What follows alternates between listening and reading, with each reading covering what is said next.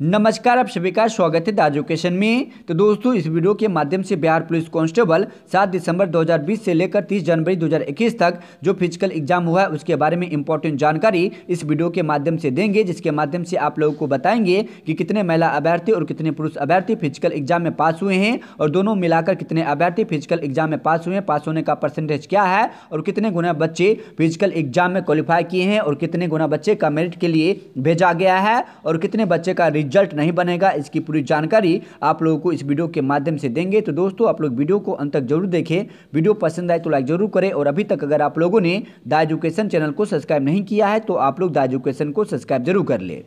तो दोस्तों सबसे पहले आप लोग देख सकते हैं पुराने वैकेंसी के बारे में कि पुराने वैकेंसी 2017 में जो दी गई थी उसमें 9,900 पदों पर वैकेंसी दी गई थी और इसके फ़िज़िकल एग्ज़ाम में टोटल बयालीस अभ्यर्थियों को बुलाया गया था जिसमें से चौवालीस छियासी पुरुष और महिला अभ्यर्थी फ़िज़िकल एग्ज़ाम में क्वालिफाई हुए थे, जिसमें से पुरुष अभ्यर्थी सात हज़ार छः सौ तिरपन और महिला अभ्यर्थी छः हज़ार सात सौ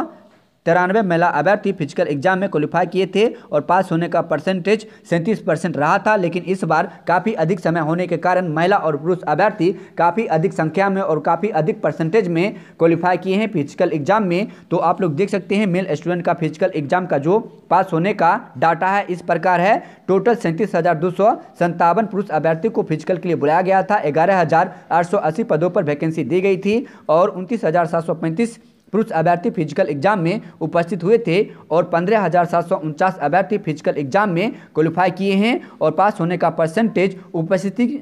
की बात करें, उपस्थिति में से पास होने का परसेंटेज बावन पॉइंट संतानवे यानी तिरपन परसेंट पास हुआ है। उसके बाद टोटल बॉयज़ में से परसेंटेज की बात करें तो बयालीस पॉइंट छब्बीस परसेंट बॉयज़ फ़िज़िकल एग्ज़ाम में क्वालिफाई किए हैं। उसके बाद फीमेल स्टूडेंट की बात करें तो इक्कीस हज़ार आठ सौ नब्बे फीमेल स्टूडेंट को फ़िज़िकल के लिए बुलाया गया था, जिसमें से अठारह हज़ार एक सौ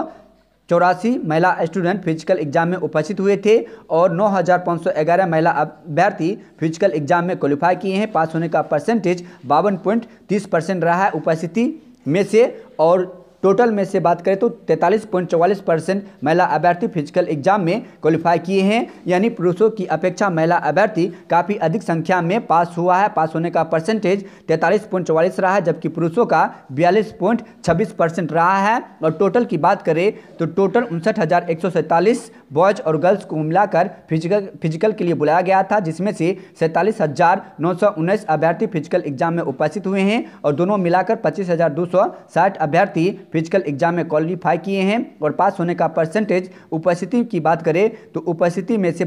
बावन पॉइंट इकहत्तर परसेंट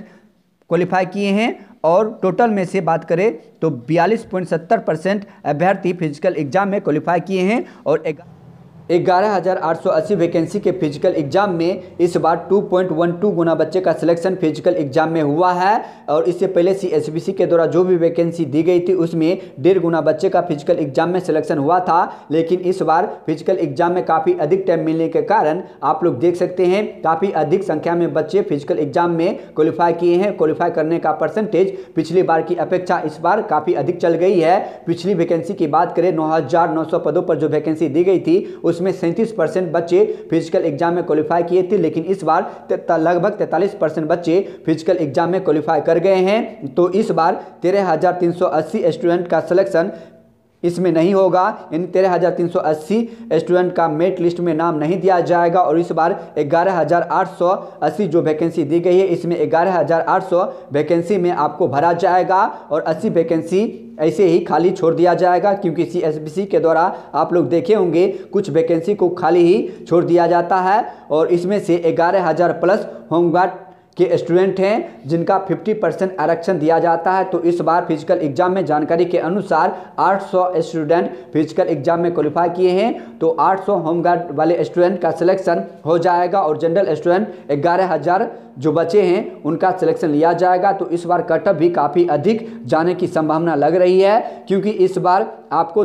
एक सीट पर दो पॉइंट वन टू गुना बच्चे फाइट कर रहे हैं। और पिछली बार की वैकेंसी की बात करें, उसमें एक सीट पर 1.5 यानी डेढ़ गुना बच्चे फाइट कर रहे थे। तो कटअप की एक सटीक जानकारी भी आप लोगों को हमारे चैनल के माध्यम से मिल जाएगी। फ़िलहाल आगे की जानकारी के लिए आप लोग द एजुकेशन को सब्सक्राइब ज़रूर कर ले। Thank you.